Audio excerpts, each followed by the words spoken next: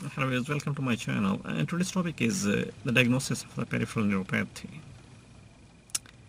As you know, the, because the peripheral neuropathy has so many causes and so many presentations, you know, so the first step uh, to diagnose the neuropathy is the taking the detailed history and the detailed physical examination, you know, by your doctor, and which will include like uh, vibration and uh, uh, monofilament uh, testing, you know, which are very common in to diagnose the peripheral neuropathy and very important test, you know.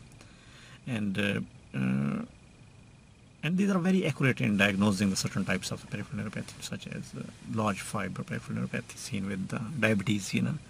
And the blood, tests for the uh, exposure to the toxins or the electrodiagnostic uh, diagnostic studies, such as the nerve conduction studies, you know, and the nerve physiology studies or EMG, you know, are also very useful and helpful, you know.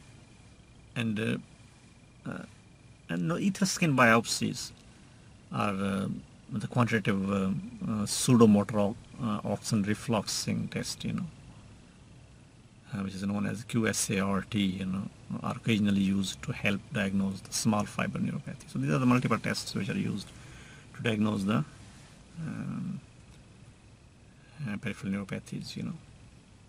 Thank you very much for watching this video. If you need more information about any disease, any medical condition, you can visit our website www.diseaseinstitute.com. And please do not forget to subscribe this channel for more informative videos every day. Thank you. Goodbye.